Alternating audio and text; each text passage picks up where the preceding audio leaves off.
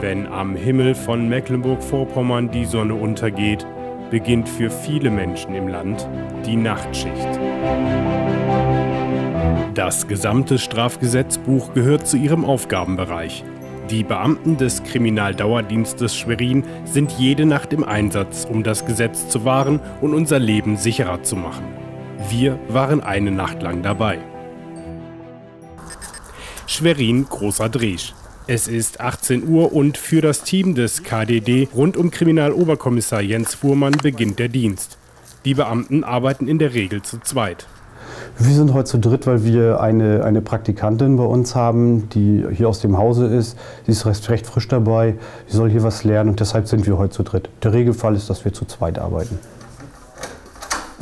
Dienstbeginn ist 18 Uhr, dann sind wir für insgesamt zwölf Stunden hier im Dienst. Ähm, ich bin jetzt hier der Dienstgruppenleiter, äh, also der Verantwortliche für die Schicht. Ich bin dann in der Regel auch der Erste hier. Dann erfolgt die Diensteinweisung, also die Dienstübergabe. Dann arbeiten wir entweder Sachverhalte der Vortage auf oder aber wir warten dann auf neue Einsatzlagen. Zu Beginn ihrer Schicht entscheiden sich die Beamten auf Streife zu fahren. Auf den Straßen ist am frühen Abend noch nicht viel los, aber dann fällt den Beamten in einem Einfamilienwohngebiet ein junger Mann mit Kapuze auf.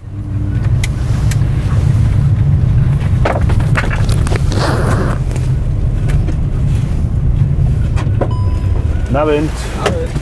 Fuhrmann, Nico Schwerin, hallo. Ja. Geht darum, dass wir hier gerade eine Streife durchführen im Wohngebiet. Ist ja in letzter Zeit auch hier und da hier eingebrochen worden. Kennen Sie alles, ne? Und deshalb, deshalb sind wir hier in Zivil unterwegs und das, deswegen kontrollieren wir dann quasi, ja.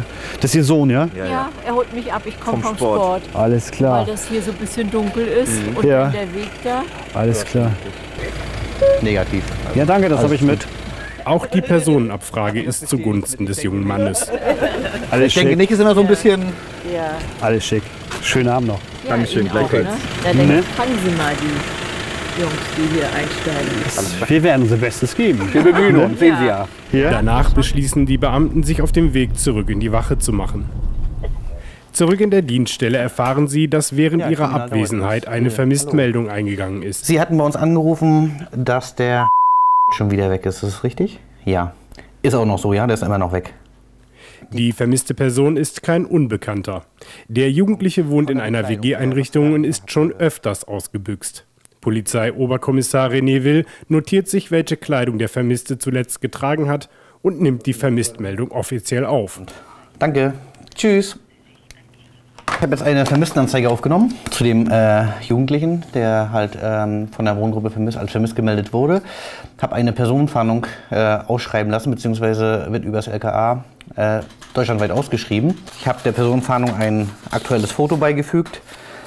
Eine weitere Kopie geht ans Polizeihauptrevier. Da bringe ich das jetzt zum Dienstgruppenleiter, dass die halt äh, in ihrer Streife auch die Personenfahndung mit einbinden können. Des Weiteren werden wir jetzt die Bundespolizei, den Nahverkehr und die Schweriner Taxigenossenschaft informieren. Falls ähm, ja, der Jugendliche mit der bekannten Beschreibung dort auftaucht, werden die sich dann halt auch bei uns melden. Okay, willkommen. 1.30 Uhr. Plötzlich muss es schnell gehen. Wir haben Raub auf dem Dreh. Vier Personen sind flüchtig. Leibnizstraße. Sofort rückt das Team des KDD zusammen mit vier weiteren Streifenwagen aus. Bekannt ist, dass ein Täter eine braune Jacke anhat. Und die haben, die Täter haben Pfefferspray bei sich. Und wir fahren jetzt zur Hegelstraße, da werden wir den Geschädigten und einen Zeugen aufnehmen und befragen. Dann direkt im Tatumfeld eine Gruppe von vier jungen Männern. Als die Beamten wenden, läuft die Gruppe los. Ja, könnte braun gewesen sein. Jetzt laufen sie hoch immer noch raus. Braune Jacke dabei. Die sind jetzt weiter. Ja, genau. Die sind jetzt vor uns. Genau die.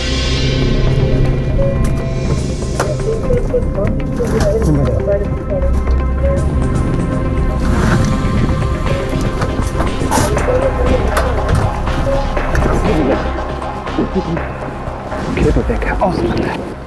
Die Beine auseinander. Sie sind vorläufig festgenommen, weil sie im Verdacht stehen, eine Raubstraftat begangen zu haben. Das ist immens wichtig, dass man in solchen Situationen aufeinander aufpasst, Da sind wir entsprechend auch geschult, so im, im Rahmen von, von speziellen Ausbildungen. Da achtet einer auf den anderen, dass da auch nichts geschieht. Das ist natürlich total wichtig. Weil das ist unser, unser Leben und unsere Gesundheit. Ne? Das ist, das ist schon, äh, schon eine brenzliche Situation für uns gewesen. Das, das kann man so sagen, ja. Äh, wenn ihr die, kriegt ihr die alle vier mit. Wir sollen uns noch um den Geschädigten kümmern und den Zeugen. Also sind erstmal alle vorläufig festgenommen. Alle vier, oder? Alle vier Ja, gehen, wir, warte mal, alle gehen erstmal mit hoch. Ne, wegen Verdacht einer Raubstraftat. Raubstraftat. Genau. Hier in der Nähe, hier in der Nähe in der Leibnizstraße soll eine Raubstraftat passiert sein. Okay, wir sind Ja. aus der Stadt gekommen. Das mag alles sein, das wird sich alles klären. Mhm, genau. Wir sind eben hier die Hamburger Allee hochgefahren. Wir haben eine, eine Personenbeschreibung gekriegt, äh, dass einer der Täter, also es geht hier um, die, um eine Raubstraftat, die sich hier ganz in der Nähe, in unmittelbarer Nähe in der Leibnizstraße abgespielt hat, äh, haben wir eine Personenbeschreibung gekriegt, dass eine der Personen eine braune Jacke tragen soll. Und aufgrund dessen ähm, haben wir diese Person gesehen, die haben uns gesehen, sind weggelaufen, sodass äh, für uns hier der Anfangstatverdacht darauf besteht, dass diese vier Personen mit dieser Tat in Verbindung stehen könnten. Ne?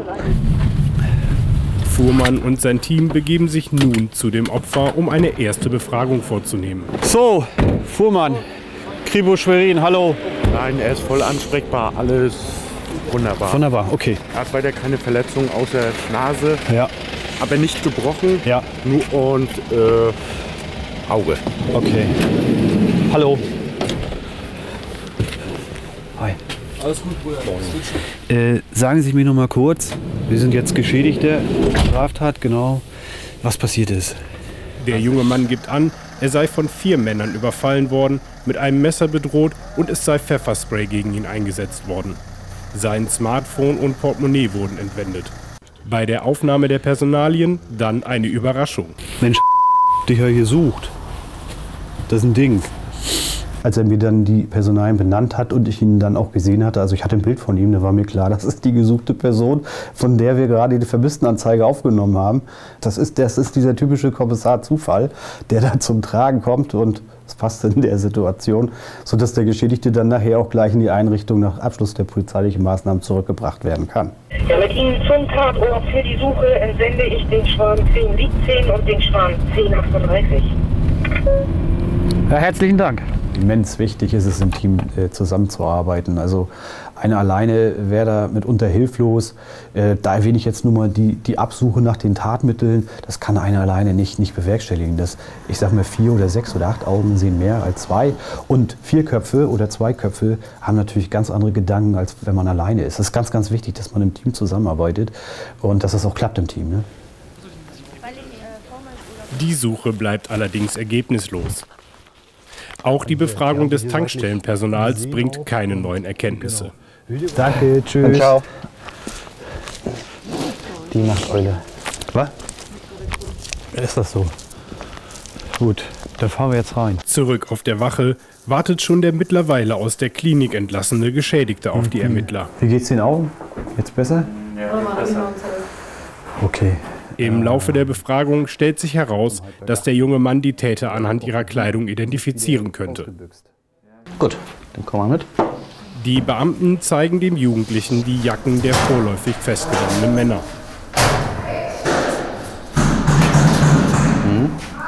Okay. Dann gucken wir einmal in Ruhe durch. Gut. Dann gehen wir erstmal einmal wieder zurück. Wir sind ja jetzt nicht zu einem zweifelsfreien Ergebnis gekommen, was, was, die, was den Tatverdacht gegen die Person betrifft. Das wird dann, nachdem wir das alles schriftlich verfasst haben, äh, wird das in die Sachbearbeitung äh, des Kriminalkommissariats Schwerin übergeben und die werden dann, wie gesagt, das Verfahren weiter begleiten. Und damit endet die Schicht für das Ermittlerteam am Samstagmorgen um 6 Uhr.